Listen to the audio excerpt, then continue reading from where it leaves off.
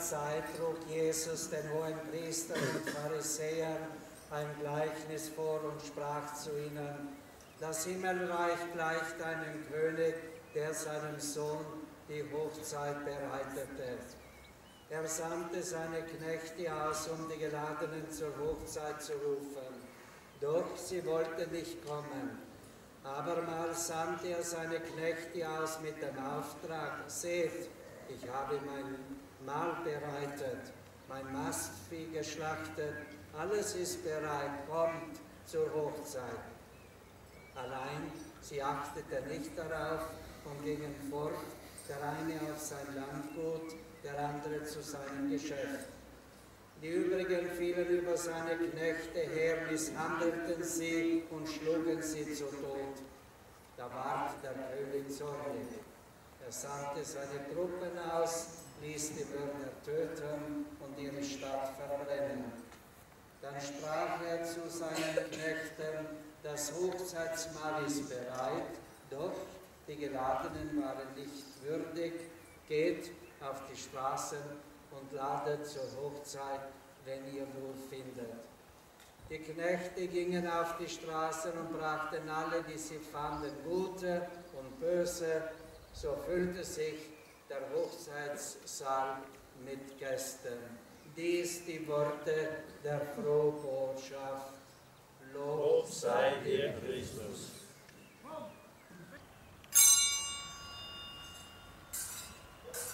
Mit himmlischen Segen sei gesegnet dieser Ort und alle, die hier wohnen, die Früchte der Erde und die Werke unserer Hände. Im Namen des allmächtigen Gottes, des Vaters und des Sohnes und des Heiligen Geistes. Amen.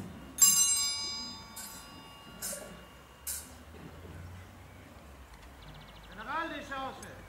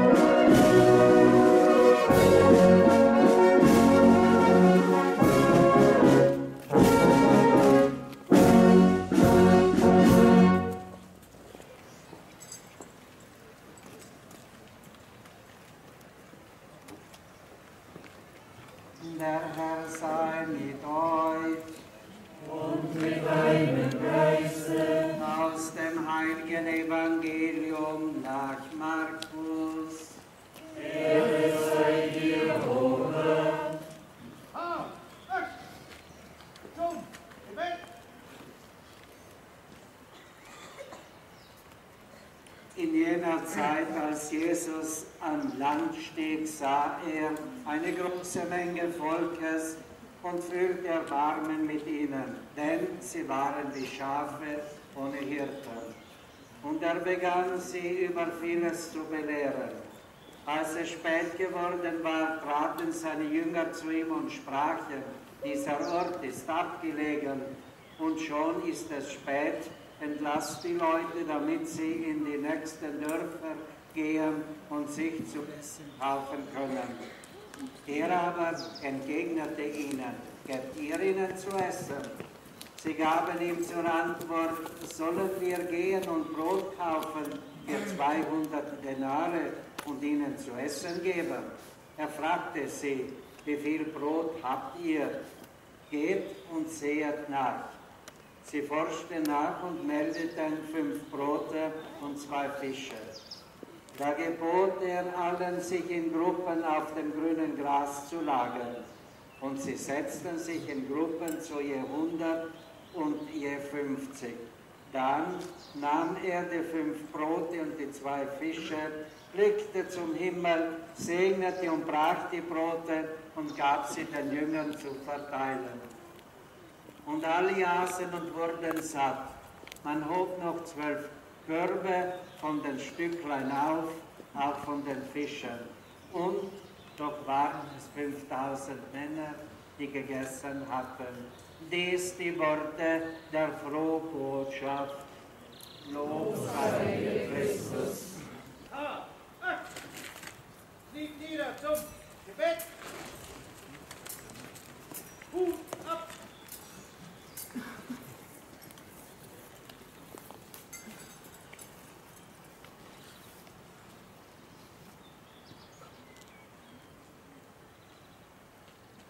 Mit himmlischen Segen sei gesegnet dieser Ort und alle, die hier wohnen, die Früchte der Erde und die Werke unserer Hände. Im Namen des Vaters und des Sohnes und des Heiligen Geistes. Amen.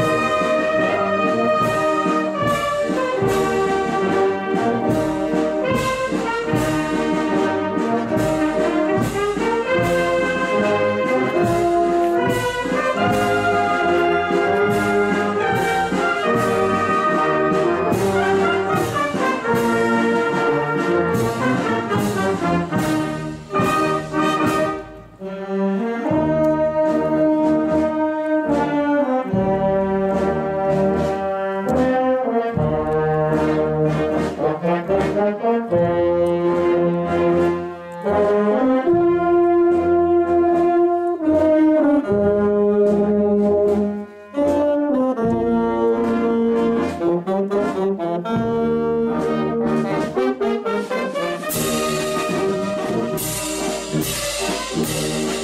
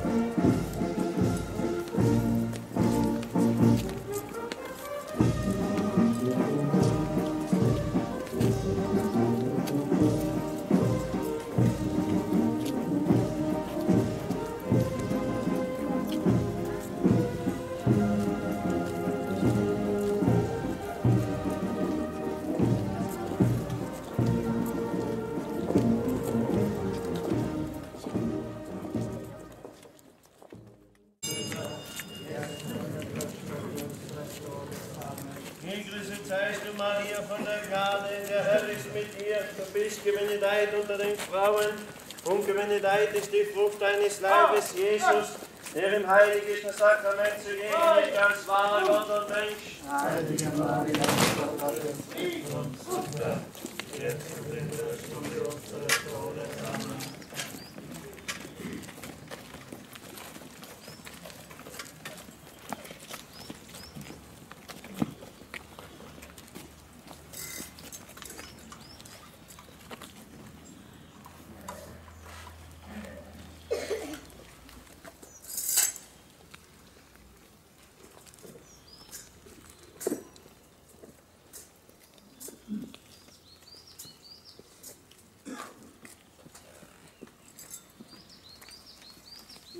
Herr sei mit euch. Und mit deinem Geiste. Aus dem heiligen Evangelium nach Johannes. Ehre sei dir, o Herr.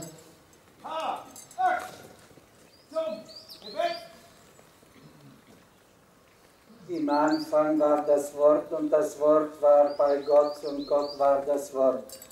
Schon im Anfang war es bei Gott. Durch dieses ist alles geworden und ohne es war nichts, was geworden ist. In ihm war das Leben und das Leben war das Licht des Menschen und das Licht leuchtet in der Finsternis, doch die Finsternis hat es nicht begriffen. Da ward ein Mann von Gott gesandt, sein Name war Johannes. Dieser kam als Zeuge, er sollte Zeugnis geben von dem Licht, auf das alle durch ihn zum Glauben gelangten. Er selbst war nicht das Licht, er sollte nur Zeugnis geben vom Licht. Dann kam das wahre Licht in die Welt und das jeden Menschen erleuchtet.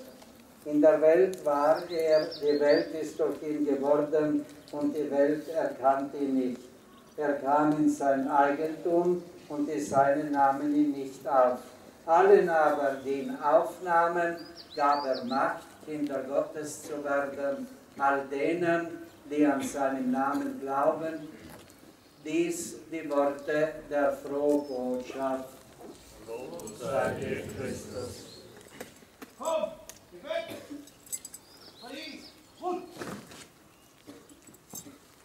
Herr, erbarme dich unser.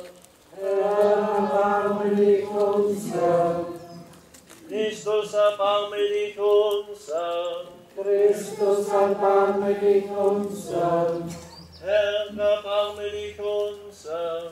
Herr, erbarme dich unser. Lasset uns beten für unser Vaterland und die Heimat, dass der Glaube immer mehr in uns lebe und wachse. Wir bitten dich, Herr, höre uns. Lasset uns beten für unser Dorf und ihre Straßen und Häuser, dass du durch deine Heimsuchung sie heiligst und weihest. Wir bitten dich, Herr, höre uns. Lasset uns beten für unsere Brüder und Schwestern, die Lebenden und die Toten, dass deine Herrlichkeit an ihnen offenbar werde. Wir bitten dich, Herr, höre uns. Lasset uns beten. Allmächtiger Gott, Urquell des Lichtes und der Wahrheit, du hast die Finsternis der Welt durch die Menschwerden deines Sohnes erhellt. Gib, dass wir uns nicht an die vergänglichen Dinge verlieren, sondern nach den himmlischen Gütern streben und durch Glauben und Werke würdig werden, das ewige Leben zu empfangen. Dies erbitten wir durch Christus, unseren Herrn.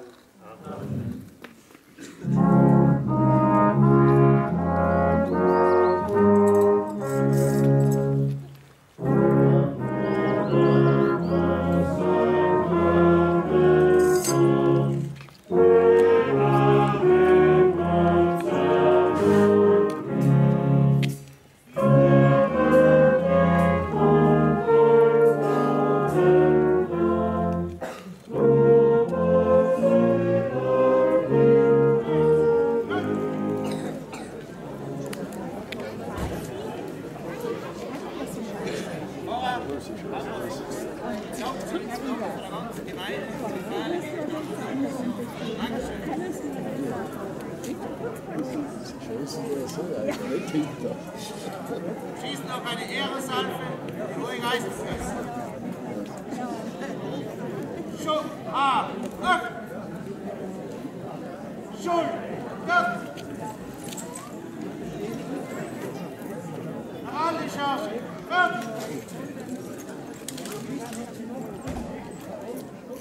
Hoch, an. Schul, Gott. Hey, Schritt.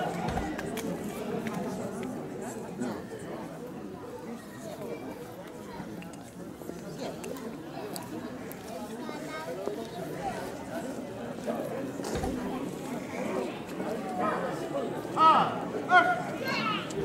Ein, Fuß. Marie, gut.